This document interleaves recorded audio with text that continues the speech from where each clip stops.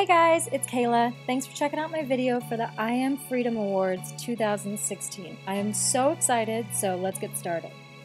So first, for my look, I decided to start with basically how I would normally do my face with my foundation and my concealer and all my brushes. and my contouring, just the same way that you normally would do your makeup.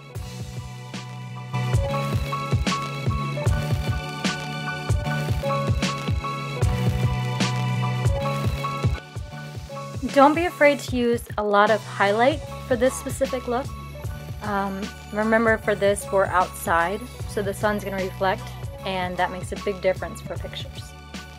For the eyes, I also used the same highlighter for under my brow as well as the inner corners.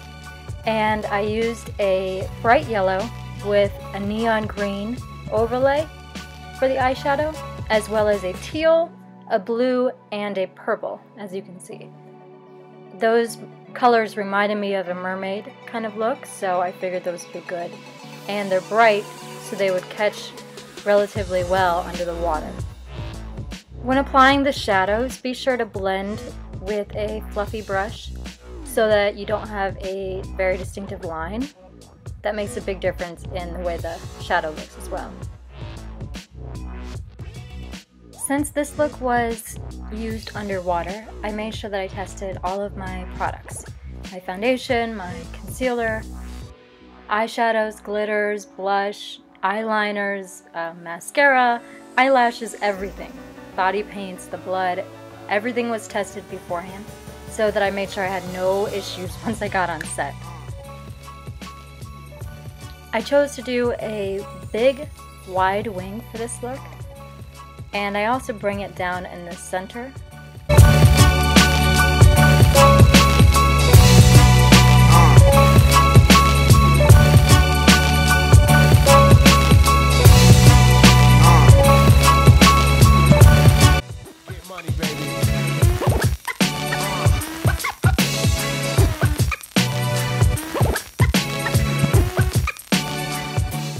Having lashes on underwater was one of my biggest concerns, but surprisingly, just the normal eyelash glue held very well, both for individuals and for strip lashes, both mink.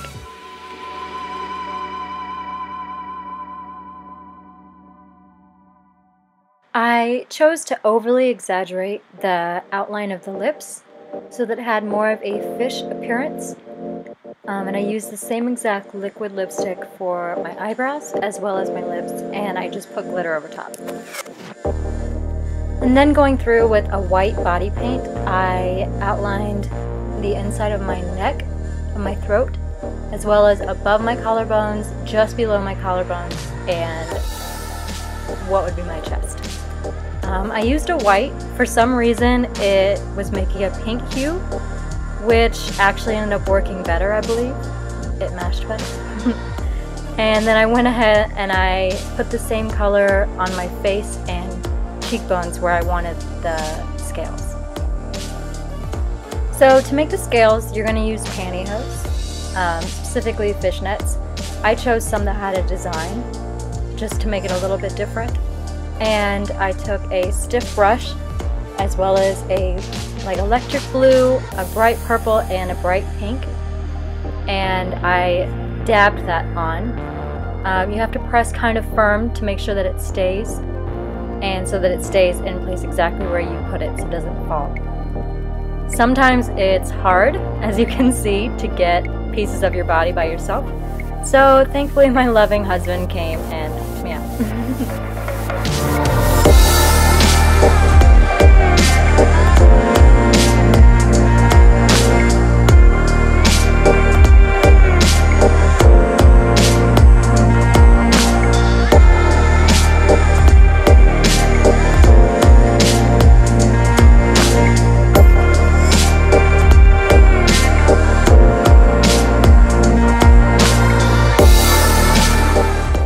Next I went in with some glitter glue on top of all of my scales and I placed that on and then I took a fan brush with some glitter and I organically put the glitter over top. Um, I didn't do it completely covering it. I wanted it to just kind of catch the light, not to be the main attraction.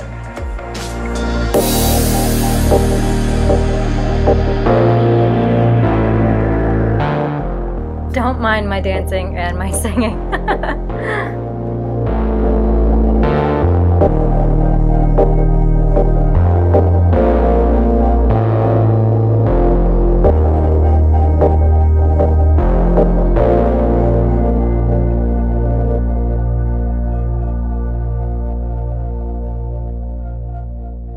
Then using that same white body paint, I drew on what would be the back of my jaw, the teeth, and then I went ahead and filled those all in.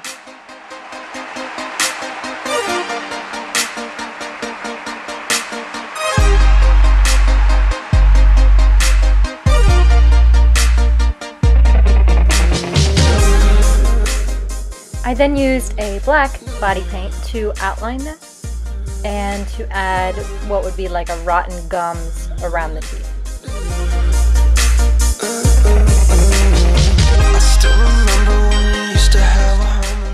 Then I did, using the black, a shading around the teeth, just so it looked more organic and lively, instead of being so precise.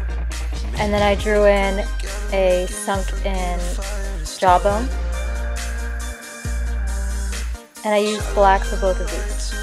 I went through and shaded as well on the sides and the bottom and then blended it out.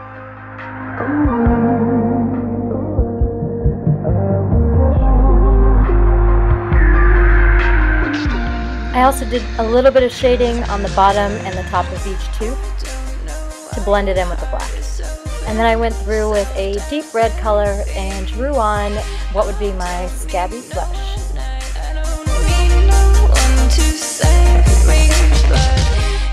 And then taking a Q-tip and some thick blood, I place that on over my scabby flesh that I drew.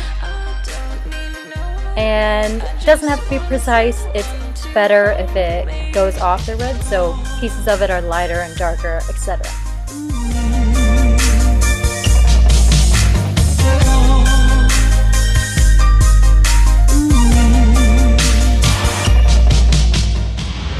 my neck and my chest, you'll see that I did the exact same steps as before.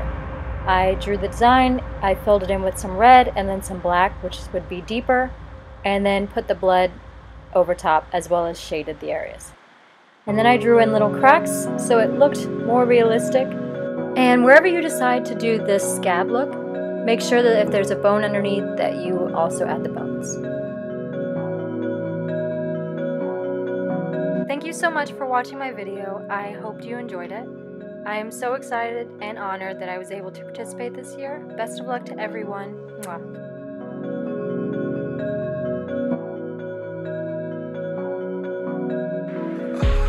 Also, if you enjoyed this, please check out my other videos, as well as like, subscribe, and share. Thank you.